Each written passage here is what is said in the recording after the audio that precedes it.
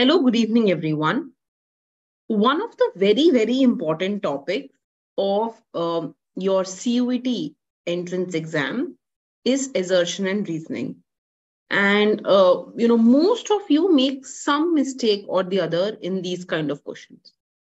So, um, on the request of uh, many of you that I have received uh, among my students, I have gone ahead and made this question bank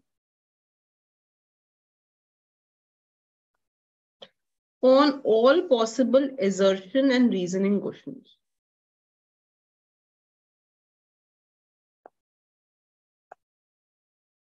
So if you will look through it, there are multiple questions that I have tried to add under this uh, question bank of assertion and reasoning. And this is going to give you a proper understanding of how to attempt these kind of questions. Today, I will take some examples of these assertion and reasoning questions with you to help you explain what goes wrong, kya galat karte ho, and how to go ahead and solve these kind of questions. Okay, beta, let us go ahead and have a look at the examples that I've prepared specially for this session. Assertion. India became an exporter of primary products and an importer of finished consumer and capital goods produced in India. So first of all, assertion is always a statement. समझो थोड़ा सा. Assertion is a statement. The reason is the reason of this statement, which actually may or may not be the true reason.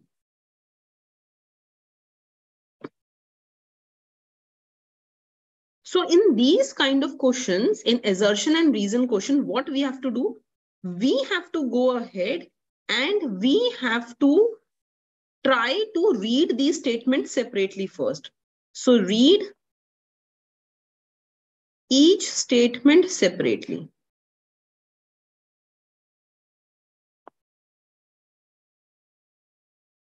Try to see if they are true or false. पहली चीज ये देखनी है कि क्या ये statement true है या फॉल्स है?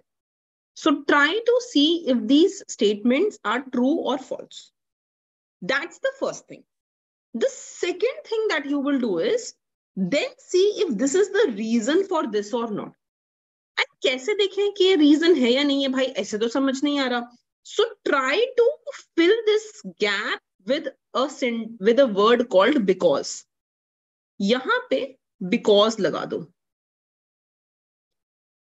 इस पूरे को एक साथ एज अ पैराग्राफ रीड करने की कोशिश करो read this as a paragraph after putting this because if you are able to read it as a paragraph with because because is making sen sense in this sentence then beta it is correct but if you are not able to make sense but these two statements are true then you will go with the second option or the third option and so on अब एक बार ध्यान से समझते हैं। So what did I explain you first try to evaluate each sentence separately so evaluate सबसे पहले each sentence separately क्या reason assertion का सही रीजन है या नहीं है वो बाद में। That we will see later first evaluate each sentence separately India became exporter of primary good, importer of finished good. Correct. India, during the British rule, India was only allowed to export the primary goods. So in one of my questions yesterday, uh, you know, in one of the question banks, I talked about cash crops, about commercialization of agriculture. इसकी बात की है ना हमने so when I say cash crops or commercialization of agriculture, it means that you're only going ahead and exporting this. So this is a true statement. Pehli statement to true ho. So we can say that the first statement is true. Then evaluate the second sentence separately. So if I look at the second sentence, It says restrictive policies of commodity production, trade, and tariff pursued by colonial government adversely affected structure, composition, volume of India's foreign trade. Now, better the point here is that this statement is false. It did not affect the structure, composition of India's foreign trade. India was always dealing in the primary sector, right? So it is not the restrictive policies of commodity, com, uh, commodity production that affected it. So ये statement ही false हो गई. So we know that the first statement is true and second is false. So I will not go any further. I will stop here. After evaluating the two statements, I will stop. Let's take one more example and let's try to see if we understand it. So iska answer ho gaya statement 1 is true but R is false. Let's take another question. Assertion. During colonial period, India's export trade was export surplus. Try to look at the two um, statements individually. During colonial period, India's export were more than import. Now the question is, first we have to go ahead and ask ourselves, did we have, so again, that is what I'm saying, evaluate the two sentences separately. So first of all, you have to ask yourself that during colonial period, did India's export exceeded import or not, right? Was India's export, did India have export surplus or not, right? That's the first thing that you have to do. So foreign trade, ये बहुत ही बहुत ही um, it's ironic that foreign trade of India during the colonial period generated surplus export because it was doing ex excess exports. Okay? But this export did not flow in India in the form of any silver or gold. Rather, this surplus was utilized to make payments, right? To make payments to the Britishers, to fulfill the cost of Britishers. But India had export surplus. ये बहुतों को you know बहुत लोग इसी को false बोल देंगे but India actually had an export surplus so this statement बेटा is true now come to the next next statement individually during colonial period India export were more then import ये भी सही बात है now late is go ahead and fill in the blank so let us just go ahead and put a because in between yahan par so here i will write because and now try to read this statement completely. During colonial period, India's export trade was export surplus because during colonial period, export were more than import. ये पूरा sentence साथ में एकदम ठीक है कि क्यों था export surplus why did we have an export surplus because exports were more than imports that is why we had an export surplus so beta because is making correct sense in this sentence. Is it? That is what we are going to go ahead and answer. That is what we are answering, right? So now here is the thing. when you go ahead and you look in India, you are correct in saying the first sentence and the second sentence that exports were more than imports and India had an export surplus. But you have to also go ahead and understand that during this period, India did not benefit from large export surplus. Why? Because as we have read, there was a drain of India wealth. So all of the wealth of India that was there, it was not going ahead and it was not affecting India positively. Why? because there was a drain of wealth of India. Yes, are points we have to remember, right? So, so please write down. This will help you in the exam also. That since all the surplus was exported, there was scarcity of the products in Indian market itself. In Indian market. The gain from export were used to meet the cost of British office. So so, India को अपने ही export surplus से कोई benefit नहीं हो रहा था. India was in getting benefited through the export surplus there was a drain of wealth all the wealth of India was going outside the country it was going to the Britishers and actually क्या हो रहा था? क्योंकि वो सारा India का जो भी प्रोडक्ट था they were sending outside nothing was left for India itself. So there was a scarcity of products in the Indian market. These are the important points which we can go ahead and write related to this question. Right now, during colonial period, exports were more than imports is a correct statement. Export trade was export surplus is a correct statement. And actually, because it's making sense, so I will go with A, that both A and R are true and R is the correct explanation of A. Okay, come to the next statement. India's economy was source of raw material for British industry. Again, evaluate the statements individually.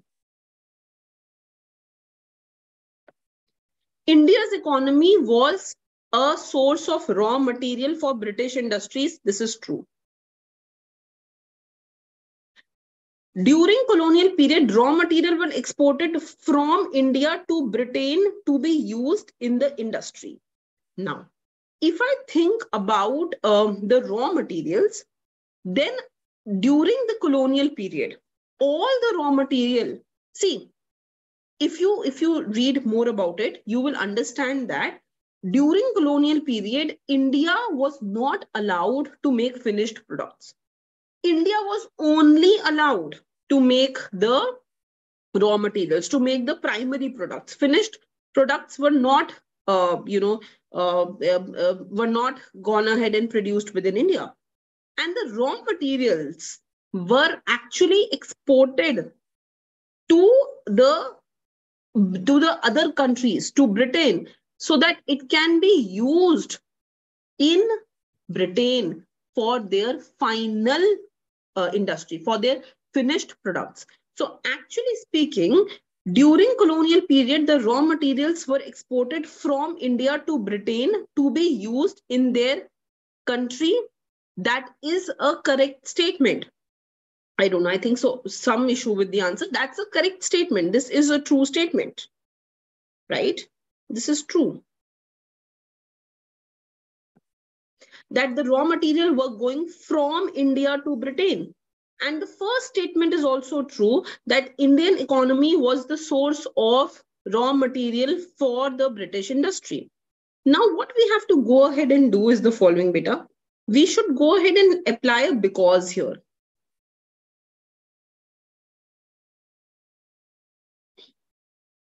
And we should again try this question so india economy was source of raw material for british india because during colonial period, raw material were exported from India to Britain to be used in the industry. So, so is this reason making sense or not?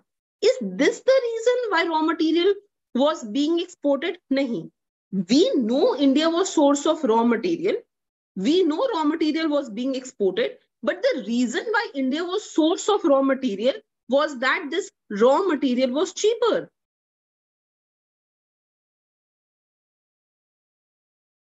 in India. That's the reason why they were going ahead and making India the supplier of the raw material.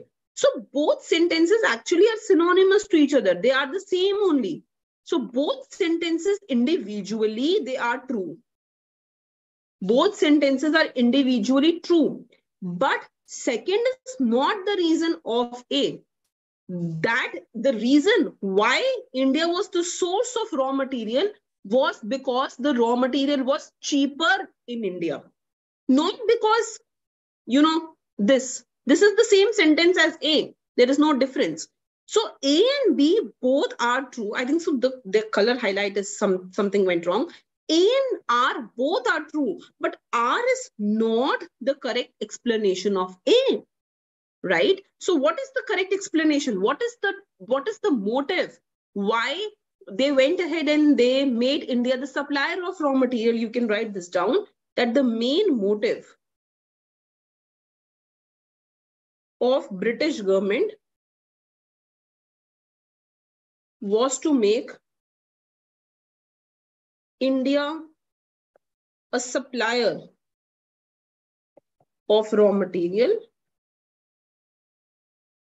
was one because it wanted to flourish its own industrial base. And second, I'm just writing in my language, okay? And second, it wanted India to be mere supplier of cheap raw material. Are you getting it? So that's the reason why it happened. So this is what the question is asking. So you have to read some statements individually and then try to do it. Okay, let's take some questions from uh, the macroeconomics part now. And let us see if we are able to uh, if we are able to make some sense out of the macroeconomic questions. Okay, so in an economy, the if the consumption expenditure is high, investment multiplier will be below the velocity of which money changes hands determines the growth of an economy. So these are two statements that are given to you. As I told you, the first thing that you should be doing is to evaluate the statements individually. So if consumption expenditure is high, investment multiplier must be, this is must be low. Is it the case? No, this is a false statement. Because beta, what is what is investment multiplier? Does it matter what your consumption expenditure is? So when I write y is equal to c plus i, right? And when I go ahead and write this c bar plus cy plus i, so 1 minus cy is equal to c bar plus i. So change in y by change in i is 1 by mps. This is my investment multiplier, right? And does it matter with what my consumption expenditure is? No, right? So if consumption expenditure is high, investment multiplier will be low is a false statement. So the first statement is false. Now you have to go ahead and evaluate the second statement. The velocity by which money changes hand determines the growth of the economy. So again, we know that MV is equal to PY. This is the quantity theory of money. So if I bring GM plus GV is equal to GP plus GY. So beta, if I were to evaluate that the growth of economy can be measured by real GDP, then in that case, this is growth of the real GDP. मतलब यही growth of economy हो गया. And this is affected by velocity. This is one factor that affects this. So this is a true statement. So we can say that assertion is false, but reason is true. Let us take one more assertion. Okay, beta, let's come to the next question. Next question says, a country always tries to balance balance of payment, uh, that is BOP in the current account equals BOP in the capital account. Look at, at it at as an individual statement. So if I look it at it as an individual statement, it is basically saying that this is true.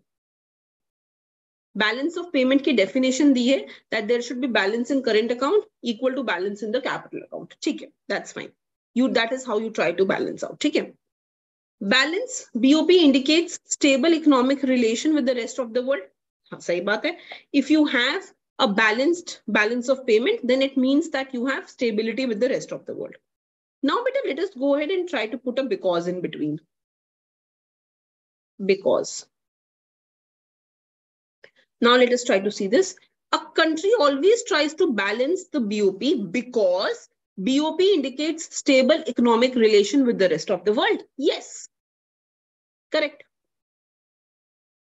यहाँ पे ठीक बैठ रहा है सो which means both assertion and reason are true and reason is the correct explanation of the assertion. So this is how you should be trying to attempt this kind of question. So you will write this down.